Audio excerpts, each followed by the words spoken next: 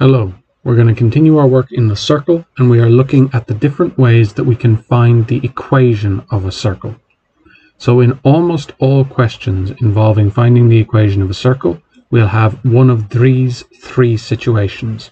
And what they're going to allow us to do is find the equations of lines that contain the center of our circle. And if we can get the equations of two lines that contain the center of our circle, and we do simultaneous equations, then where those two where those two lines cross each other will give us the center of the circle. And once we've got the center, then we can use a point on the circle to find the radius. And those are the two core pieces of information we need for finding the equation of a circle. We need the center, center,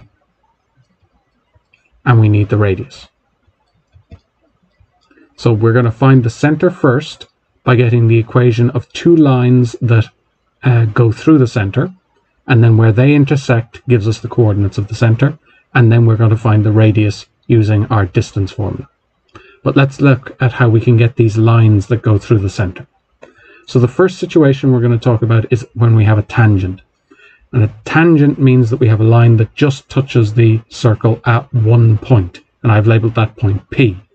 We already know that the perpendicular distance from my line to the center is going to be the radius of the circle.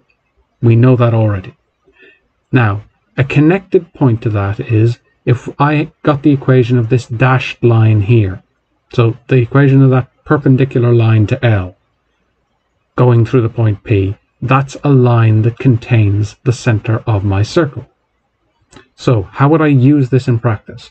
I'd get the slope of L, I get the perpendicular of that slope, which would be the slope of my dashed line here, and then if I got the coordinates of the point P, and that perpendicular slope, I'd have the equation of a line that went through the center of my circle. And if I have two of them, then I'm going to be able to do simultaneous equations to find the center of my circle. So that's one way. Another way, which is closely connected, is if we have a chord of a circle, or more commonly, if we're given two points that are on the circle. So if we get two points that are on the circle, we know as a fact of geometry that the perpendicular bisector of the chord between those two points goes through the center of my circle. So again, if I know the coordinates of A and the coordinates of B, I would get the slope of the line between A and B. I would get the perpendicular to that slope, that's going to be the slope of my dashed line. And the point that I'm going to be looking for is going to be the midpoint of AB, of the line segment AB. So the point I'm looking for on my line is the midpoint of AB, and the slope of my dashed line is going to be the perpendicular of the slope between A and B. And that give, that's another way of getting the equation of a line that goes through the center. So if I had two points on my circle and I had a tangent, I would be able to use those pieces of information to get the equations of my two dashed lines, and where they crossed each other must be the center of the circle. Now, another situation that we can run across is the one on the top right, which is where we're just straight out given the equation of a line that goes through the center.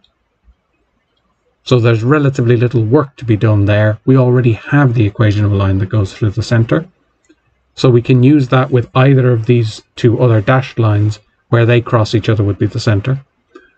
Uh, and just as an example of how you might use that, uh, we could sub in, uh, sorry, as an example of another way that you could use that, uh, we could sub in the center at minus g minus f into our equation of our line.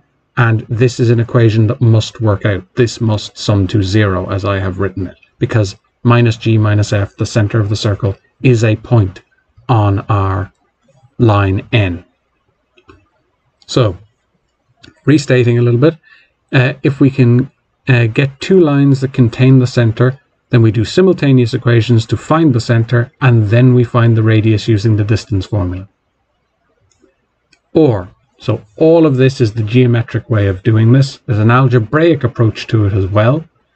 If we're given enough information to do any of these things, then we can also uh, use the general equation of the circle and we can use it by subbing in uh, different points that we know on the circle. If we know three points on the circle, we can create three equations that will involve G, F, and C, and we can sub in uh, we can sub in our values in for x and y and end up with three equations with g, f, and c, and then do three simultaneous equations with three unknowns. So sometimes this method is quicker, but it's a bit riskier because the algebra gets so messy. This is the method I will strongly recommend to you, but it's important that you know that this is a possibility as well.